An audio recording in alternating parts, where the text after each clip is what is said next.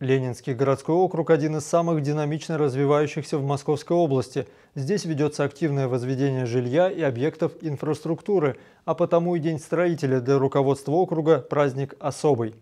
В здании администрации муниципалитета состоялось награждение представителей организаций строительной отрасли. В качестве высокой оценки их труда глава Ленинского городского округа вручил собравшимся памятные подарки, почетные грамоты и благодарности главы округа.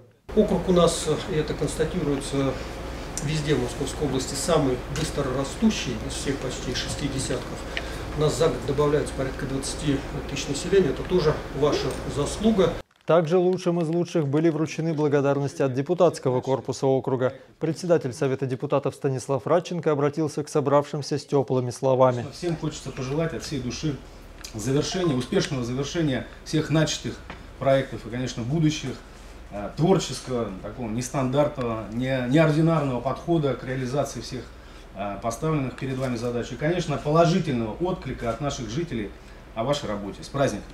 Напомним, День строителей ежегодно празднуется во второе воскресенье августа.